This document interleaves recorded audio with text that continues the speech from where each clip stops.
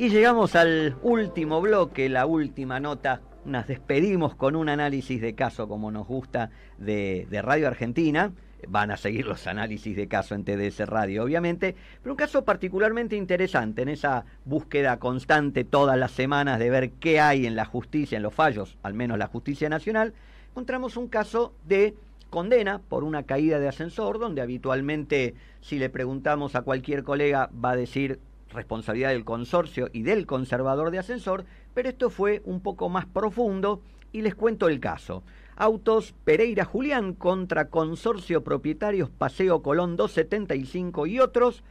Esto tiene que ver con un accidente. El 30 de octubre del 2017,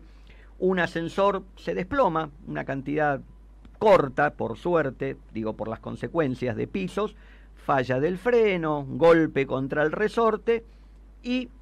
una persona sufre diversas lesiones. Por suerte, como vamos a ver en la sentencia, no de extrema gravedad, pero efectivamente ya en el año 2018 rápidamente inicia la demanda y culmina hace dos semanas, exactamente el 13 de junio del 2023. La verdad que un fallo de estas características, con tantas partes involucradas, que solo tarde cinco años, está hablando bien de cómo debería funcionar la justicia, ¿no? El promedio yo siempre contaba ocho años, a veces más, y bueno, parece que la, la digitalización ah, ayuda mucho a la rapidez de los casos. Bien, edificio asegurado en QB Seguros, en el medio cambió a, Zurich. Eh, que al responder es el estudio de abogados de la compañía, y le mando un saludo a la gente de Estudio Morales, que es el que actuó y con el que suelo actuar yo como consultor técnico, decide citar al conservador de ascensores que no estaba, pero también al fabricante del ascensor y de la pieza fallada, porque acá claramente, y ahora lo voy a contar, la pericia de bomberos identifica una falla de una pieza. Bueno, lo que ocurrió, se presenta eh, la empresa conservadora de ascensores tenía su póliza, el fabricante también, eh, pero esta última cita a la firma que en principio había sido la instaladora. Acá tenemos dos figuras separadas, fabricante que le vende a un instalador, instalador el que coloca en un edificio relativamente nuevo. Bueno, dentro de todo esto, claramente, y acá es donde viene la parte interesante, ¿no? La parte de la pericia, porque ese día narra una de las empresas citadas que después terminan en la condena, efectivamente eran los conservadores actuales de ese, ascensor, son citados por un inconveniente, llegan y lo que encuentran a los bomberos. Estaba el ascensor por, por debajo del nivel que debía tener, estaban los bomberos, efectúan en conjunto un reconocimiento, van a la cabina y ahí es donde encuentran que eh, parte de la polea de tracción de ese ascensor identificado como el número uno estaba fracturada en varios pedazos, que era relativamente nueva, sí, el ascensor había sido colocado un año antes de este accidente, por lo cual determina el perito, entiende, que lo que sucedió debía resultar directa y únicamente atribuible a un defecto propio de ese material nuevo, se instaló con un material nuevo. Eh, la empresa que había comprado e instalado el ascensor, que se había encargado del mantenimiento hasta final de ese año anterior, es decir, no era la empresa conservadora al momento del hecho, se presenta diciendo, bueno, que ellos habían hecho esa tarea, pero que no eran responsables ya del mantenimiento. Su empresa de seguros rechaza el siniestro diciendo que no lo había denunciado. Claro, la firma, al no tener el contacto directo con ese cliente, nadie le notificó, che, hubo un siniestro, no, los conservadores de ascensores eran otros, que sí, que no, bueno, toda la todo el, el, análisis del caso para la justicia pasó por esta pericia, ¿no? Que determina cuál era el inconveniente, había sido un rebote de algunos centímetros, pero con un cimbronazo. En definitiva, la polea no resistió ese, desprendimiento provisorio, o sea, la caída del contrapeso, cimbronazo en los cables, bueno, todo medio técnico, pero entendía temas de freno mecánico del ascensor no lo detuvieron por estar sin el ajuste requerido y necesario. O sea, por un lado hablaba de un problema de ajuste de frenos, pero por el otro denunciaba la falla de una pieza en particular, esa polea, en un ascensor nuevo, comprado hacía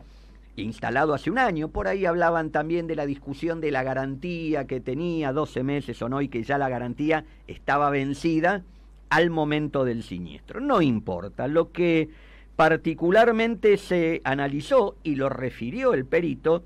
es que ya había otro accidente en otra máquina de la misma marca que casualmente había intervenido, donde una máquina de pocos meses tenía una rotura interna, lo cual genera la posibilidad de algún fallo de método o proceso que debería ser solucionado por el fabricante. Estábamos con un producto nuevo, no lo que pasaría consorcio como el mío, que los ascensores tienen 20 años. Lo concreto dice, de acuerdo al poco tiempo de instalación de este ascensor, había que descartar una falla de fatiga de material sino que en todo caso habría falla del material sin descartar fallas del diseño, de ejecución o de instalación debido a que era muy temprano el fallo de esta pieza, ¿no? de esta polea desde la puesta en servicio. Un poquito más de un año falló la pieza, explica qué características tiene este elemento, cómo se fabrica, se hace en una sola pieza de fundición que no es fácil advertir externamente si la pieza puede presentar un defecto, una grieta o algo, pero esto es lo que dejó sentado el perito de bomberos en ese informe, luego tomado como pericia de experto para el caso. En concreto, el juez de primera instancia agarra y analiza la responsabilidad de cada una de las partes demandadas, el consorcio de propietarios, claramente es el dueño de la cosa, siempre responde, porque para liberarse de responsabilidad debe demostrar la ruptura del nexo causal, algo absolutamente ajeno al riesgo o vicio de la cosa, y obviamente no porque es el dueño. Bien, la firma conservadora de ascensores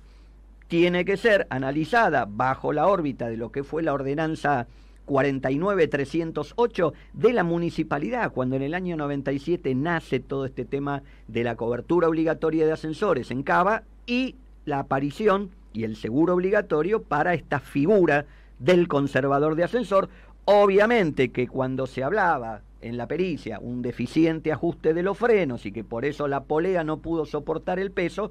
cae la responsabilidad del el conservador de ascensores. Eh, también responsabilizaron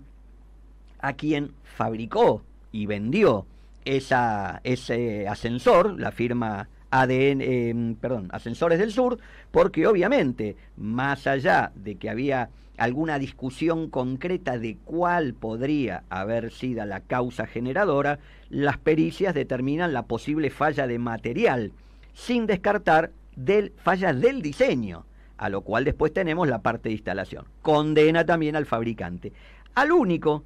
que en primera instancia no lo considera responsable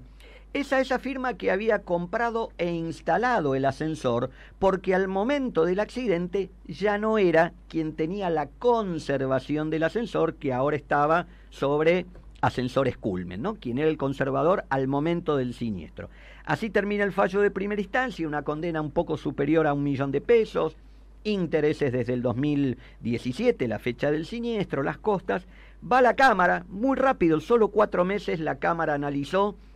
determinó que en realidad no estaba correcto el haber liberado a quien instaló el ascensor, porque también dentro de la pericia daba la posibilidad no solo del error de diseño, sino de la ejecución y la instalación que estaba a cargo de esta firma FEMIP. Así que en definitiva incrementa un poco los montos, ya llega algo así como un millón ochocientos mil pesos, intereses, costas, hay que descontar algo que habría cobrado el reclamante de su póliza de RT, pero lo concreto que Perinola todos ponen, tienen que indemnizar cada uno con el aporte de su aseguradora, hay tres aseguradoras, entonces paga el consorcio, la firma actual de conservadores de ascensores, quien fue el fabricante del ascensor y quien fue el que lo instaló, porque también dejaba, repito, la pericia un lugar a que podría ser un defecto de instalación. Así que, que era la única de las cuatro que en ese caso no, no contaba, o el fabricante creo, perdón, no contaba si la otra por conservador de ascensor eh, no contaba con seguro. Cuatro condenados, tres aseguradoras, no es tampoco la muerte de nadie, digo la indemnización, pero caso interesante, no es común ver en estos temas de daños con ascensores que aparezca el fabricante y que aparezca como una persona distinta el instalador de este, de este aparato, reitero, tiene que ver con que prácticamente desde que se instaló al año siguiente ya ocurrió este siniestro. Bueno, tema interesante para compartir con los colegas nuestro último análisis desde Radio Argentina para Tiempo de Seguros.